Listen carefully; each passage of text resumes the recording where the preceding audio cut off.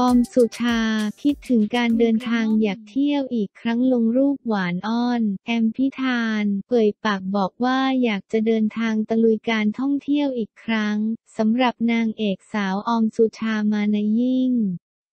ที่เมื่อเห็นการแจ้งเตือนการเดินทางเมื่อปีที่แล้ว ขณะไปเที่ยวที่ดูไบก็ทำให้เจ้าตัวแอบคิดถึงบรรยากาศเก่าๆขึ้นมา โดยออมสุชาได้เขียนแคปชั่นไว้ว่า ทริปเที่ยวดูไบเมื่อปีที่แล้ว งื้อ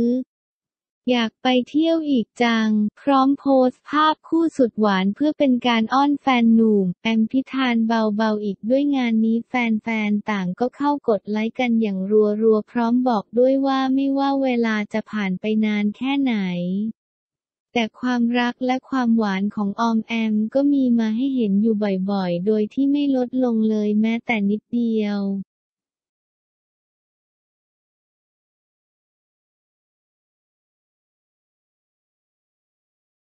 สุดอลังการเปิดคฤหาสน์กรริต้าตั้งตารอลูกทั้งรักห่วงเมียดูแลทุกฝีก้าวหวานหนักมากกว่าที่คุณพ่อคุณแม่กรริต้าเปิดคฤหาสน์สุดอลังการรอต้อนรับลูกชายเผยความห่วงสามีคอยดูแลภรรยาอย่างดีทุกฝีก้าว กรณ์ ณรงค์เดชควงคู่ริต้าศรีริต้าภรรยาสุดรักสุดห่วงเปิดคฤหาสน์หลังงามในรายการสามแซบพาเดินชมบ้านหลังใหญ่อลังการเรียกว่าคฤหาสน์ก็ไม่ผิดสวยงดงามทุกมุมเฟอร์นิเจอร์ล้ำค่าแถมมีเรื่องเล่า รูปปั้นเก่าแก่ 300 ปีจากโบสถ์ที่อิตาลีเชื่อว่าศักดิ์สิทธิ์ขออะไรได้สมหวังริต้าท้องเจ็ดเดือนแฮปปี้ได้เวลาเฉลยเพศลูกคนไทยถูกมีเฮศรีริต้าตื่นเต้นอวดภาพอัลตราซาวด์นับวันรอ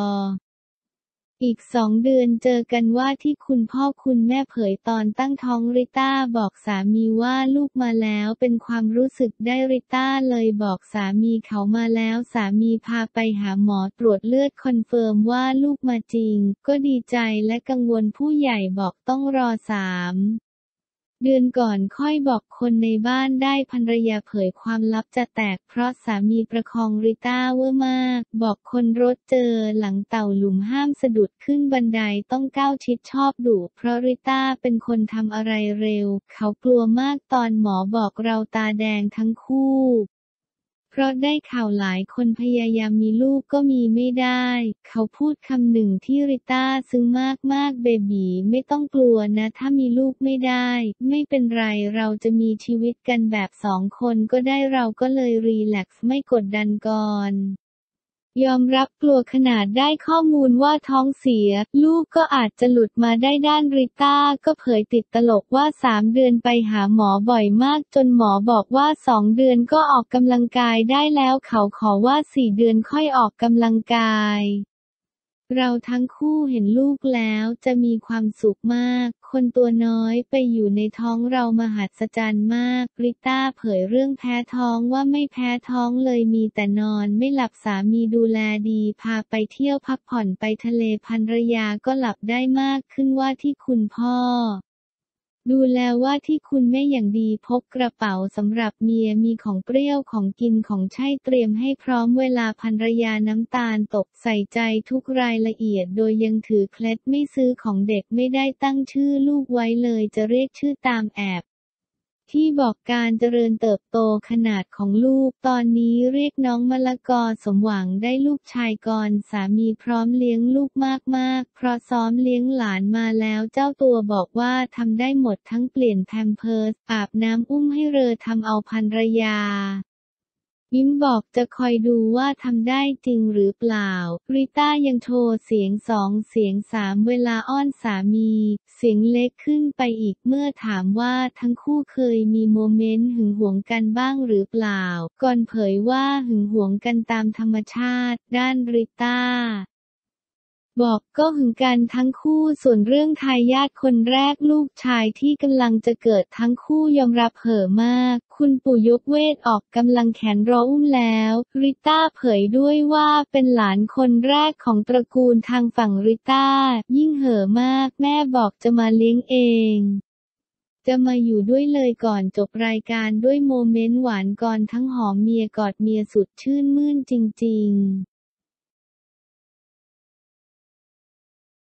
ซาร่าเปลี่ยนใจเสนอให้สิทธิ์ไม้ปกครองลูกแต่เพียงผู้เดียว ยอมให้ไปอยู่จีนเพื่ออนาคตของแม็กเวลหลังจากที่ยื่นข้อเสนอกันไปมาเกี่ยวกับสิทธิการปกครองลูกของอดีตคู่รักไม้พิรัตน์นิธิภัยสารกุลและ คุณแม่ซาร่าคาซิงกินีในสิทธิการปกครองน้องแม็กเวลลูกชายวัยหกขวบของทั้งสองคน โดยเป็นประเด็นทกเถียงและได้รับความสนใจจากชาวเน็ตเป็นจำนวนมากเมื่อช่วงปลายปี 2563 ที่ผ่านมาซึ่งเมื่อวันที่ 24 ธันวาคม 2563 ทั้งคู่ใช้เวลากว่า 8 ชั่วโมงในการไกล่เกลี่ยแต่ไม่ได้ข้อยุติ ซึ่งศาลพิจารณาแล้วอนุญาตให้เลื่อนไปไกล่เกลี่ยต่อในวันที่ 4 มีนาคม 2564 ที่จะถึงนี้ล่าสุดเมื่อวันที่ 19 มกราคม 2564 ซาร่าได้ออกมาเปิดใจผ่านในนินเตอร์เทน ว่าสาเหตุที่ยังไม่ได้ข้อยุติไม่ได้เกิดจากฝั่งของตนและไม่ได้เกี่ยวข้องกับเรื่องเงินอย่างที่หลายคนเข้าใจผิดทว่าทางซาร่าได้มีการยื่นข้อเสนอใหม่ คือ การให้สิทธิ์เลี้ยงดูแลและอำนาจปกครองกับไม้แต่เพียงผู้เดียว เนื่องจากรอบแรกที่ไปศาลเยาวชนและครอบครัว ซึ่งไม้ไม่ได้มาศาลแต่ให้ทนายมาบอกว่าเขามีเจตนาอยากให้ลูกไปอยู่กับเขาที่จีน โดยซาร่า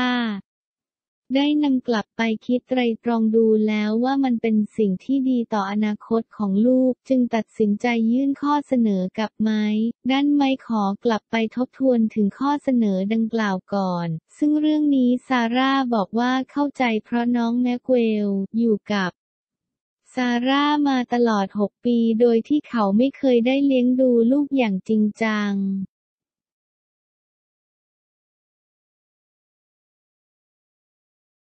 ใหม่สุคนทวาฟาดกลับชาวเน็ตกลางไอจีปมประกาศเลือกข้างนักข่าวหลังลุงพลผลักอกกระชากคอเสื้อเรียกได้ว่ากระแสก็โถมเข้ามาอย่างหนักสำหรับลุงพลป้าแตนที่ประกาศกล้าวไม่ให้สื่อหลักสัมภาษณ์ ล่าสุดเหมือนจะงานเข้าอีกรอบหลัง ลุงพลป้าแตนที่กำลังจะโดนตรวจสอบจากป่าไม้ เนื่องจากต้นตะเคียนโสระพีที่นำมาให้ชาวบ้านกราบไหว้นั้นใช่ ตะเคียนจริงไหมถ้าใช่เอามาครอบครองได้อย่างไร และถ้าไม่ใช่จะถือเป็นการมัมเมาประชาชนหรือไม่ ต่อมาเจ้าหน้าที่ป่าไม้จังหวัดมุกดาหารได้เข้าไปตรวจสอบที่บ้านกกกอกอีกครั้ง เพื่อตรวจสอบไม้ตะเคียนที่ศาลแม่ตะเคียนโสระพีข้างบ้านลุงพล โดยพบว่า มีผู้สื่อข่าวและยูทูบเบอร์จำนวนมาก ไปรอติดตามทำข่าวทั้งนี้ระหว่างที่ผู้สื่อข่าวรอสัมภาษณ์ พบว่าลุงพลได้เกิดปะทะกับผู้สื่อข่าวช่องอมรินทีวี ซึ่งรอสัมภาษณ์อยู่บริเวณดังกล่าว จากคลิปจะเห็นได้ว่า ลุงพลเข้าไปพยายามแย่งไม้มาถือโดยบอกว่าขอถือหน่อยปล่อยปล่อยไม่เป็นไรขอผมถือหน่อยดีจากนั้นก็เสียงดังขึ้นเรื่อยๆ และตบหลังผู้สื่อข่าวคนดังกล่าว ก่อนผลักและตรงเข้ากระชากหน้ากากอนามัยของผู้สื่อข่าว จนมีคนพยายามเข้ามาแยกออกซึ่งผู้สื่อข่าวได้พูดว่าผมมาทำหน้าที่ของผมทำไมต้องให้ผมหยุดพูดด้วยผมผิดอะไรและล่าสุดนักแสดงอย่างสาวใหม่สุคนทวานั้นก็ไม่ไว้หน้าประกาศเลือกข้างทันทีหลังลุงพล ผลักอกกระชากคอเสื้อนักข่าวออกสื่อโดยงานนี้สาวใหม่นั้นก็ได้โพสต์ข้อความผ่านอินสตาแกรมและเฟซบุ๊กว่า เคยชอบลุงพลนะ แต่ตอนนี้ไม่ขอพูดรู้สึกแย่มากลุงผลักอกและกระชากคอเสื้อนักข่าว ตบหลังนักข่าวแรงๆทำไมเหมือนจะบีบคอนักข่าวด้วยกระชากหน้ากากนักข่าวอีกบอกตรงๆสงสารนักข่าวคนนี้มากดูแล้วน้ำตาไหลสงสารพี่นักข่าว เกลียดว่านิสัยตัวตนออก save นักข่าวอมรินทร์ save นักข่าวไทยรัฐ นักข่าวสองท่านนี้ทำงานดีดังแล้วทำแบบนี้หรือว่าแม่แหล่งดอกจันคุณดังและมีเงินได้กว่าเดิมก็เพราะอมรินทร์และไทยรัฐนะจ๊ะ ลืมจุดเดิมตัวเองหรือเปล่าสงสารพี่นักข่าวมาก น้ำตาจะไหลดอกจันคุณดังและมีเงินได้กว่าเดิมก็เพราะอมรินและไทยรัฐนะจ๊ะ ลืมจุดเดิมตัวเองหรือเปล่าอีกทั้งงานนี้ชาวเน็ตต่างก็เข้ามาวิพากษ์วิจารณ์ สาวใหม่โดยได้แสดงความคิดเห็นกลางไอจีว่า ขอโทษนะครับคุณใหม่ก็ถามทำไมเอาแบบไม่เข้าข้างใครครับ คุณใหม่ไม่รู้ผมก็ไม่รู้ก่อนหน้าเหตุมันเป็นยังไงพวกเราทุกคนเห็นภาพที่ปรากฏแต่ที่ไม่ปรากฏมันคืออะไรผมว่านะ จากนั้นใหม่สุคนทวาจึงได้ฟาดกลับชาวเน็ตกลางไอจีปมประกาศเลือกข้างนักข่าวหลังลุงพลผลักอกกระชากคอเสื้อโดยเธอนั้นได้ตอบคอมเมนต์ดังกล่าวว่า ก่อนหรือหลังเป็นยังไงก็ไม่ควรทำกับใครทั้งนั้นค่ะ การกระทำแบบนี้